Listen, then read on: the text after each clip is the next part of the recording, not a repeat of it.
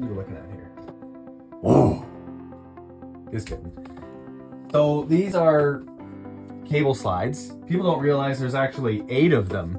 Um, there's four that run it out and four that run the slide back in. Over time, just like any other cable, they will stretch and you'll start to see um, like those brackets when the slide out's in all the way, they'll start to droop. Uh, when you start seeing that, it's a good idea to just tighten them. Um, there are these little uh, foam blocks that you remove and then you can get a wrench on there to tighten the, the nut and that stretches the cable. You want to have the cables fairly taut. About an inch of travel is all you want in the cable.